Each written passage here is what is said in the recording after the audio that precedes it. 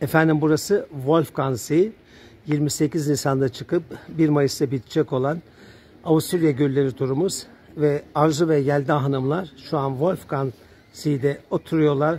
Arkada Avusturya Alpleri. Sevgili Arzu Hanım ne düşünüyorsunuz? Turumuz nasıl geçiyor efendim?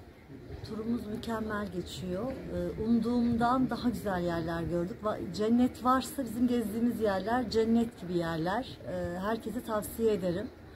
Ee, Ömrüm boyunca bir kere görülmesi gereken yerler diye düşünüyorum. Siz Yelda Hanımcığım ne Yani Benim düşünüyorsunuz? için de aynı şeyler geçerli. Çok keyifli bir tur. Yani yeryüzü cenneti gördüğümüz her yer. Haşlat özellikle benim hayalimdi. Orasını görmek ve gerçekleşmiş oldu bu hayalim. Çok teşekkür ediyorum. Bizler de teşekkür ederiz. Her zaman bekleriz efendim. Saygılar.